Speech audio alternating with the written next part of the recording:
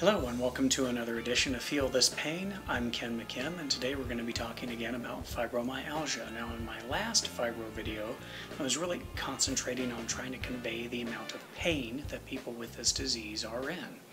Today we're going to be talking about something called fibro fog and while it's a sort of funny sounding name, it's a symptom that is very distressing for those who have to deal with it every day of their lives, which people with fibromyalgia have to. And we're not just talking about occasionally forgetting a word. The people who experience this, it's very scary. Think about not being able to trust your brain to recall vital information, or not being able to trust that the right words are going to come out of your mouth when you're trying to communicate with other people. What might that look like, you ask? Well, maybe something like this. Things like breakfast seem simple enough, and usually they are, except with fibrofog, not everything always goes according to plan. Yeah. Air freshener. Very nice. Smells great, except when it's not air freshener. These kinds of mistakes can be expensive and lead to uncomfortable conversations with your spouse or significant other.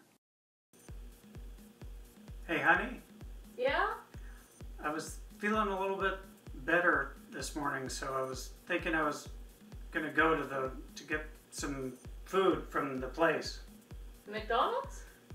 No, the other one. Subway? No, the the place with the food. Wendy's? Burger King? Taco Bell? No, no, it's the place with the food, but it also has a toilet plunger and fertilizer. Arby's? Maybe, but no, that's wrong. It's the where we got curtains last week. Oh, Walmart. Yes. Gonna go to Walmart later because I feel a little better today. Nothing is simple anymore. Would you like to take the grocery list with you? Well, that would be novel. Why don't we do that? Yes, fibrofog can make you feel more alone than you ever thought possible. You lost? Uh, yeah. Yeah, a little bit.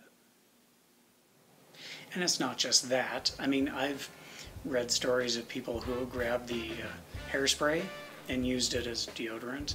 And sure, doing something like that occasionally would be kind of funny, but for people with fibromyalgia, fibrofog is not an occasional symptom.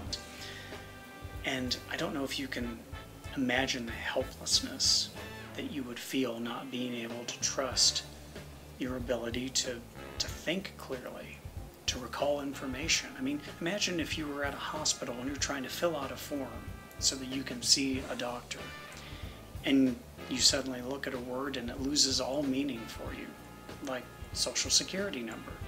Not just not being able to remember your social security number, but not being sure what a social security number even is. There are so many situations in our daily lives where the ability to accurately recall important information is vital to functioning in society. And people with chronic illnesses like fibro already feel marginalized. They already feel overly dependent on their friends and their family. And it's humiliating for them. It's just devastating to have to depend on other people that heavily. And so, again, if you know anyone who suffers from fibromyalgia or any other chronic illness, stop yourself from trying to be helpful and suggesting all the things that they could do better, aren't doing enough of, or really need to try. You're just making them feel worse. You're making them feel like they're not trying hard enough. What people with chronic illnesses need above all else is compassion from you and from everyone around them.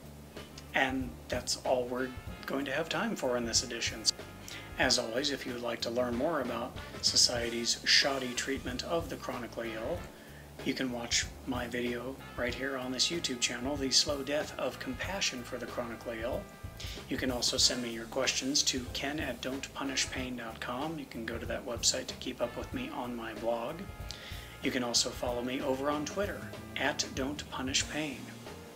Once again, thank you very much for watching, and until next time, I'm Ken McKim. You take care.